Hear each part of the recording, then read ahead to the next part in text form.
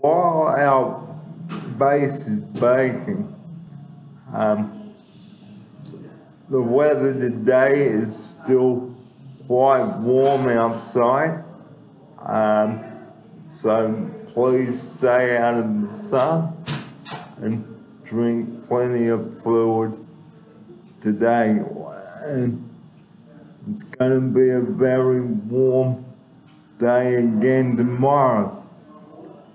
Well, again, just reminding you to put some sun cream on if you are planning to go outside and wear some sunglasses.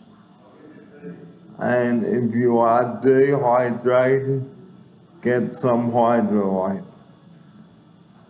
Well, let's go and see how our base is going.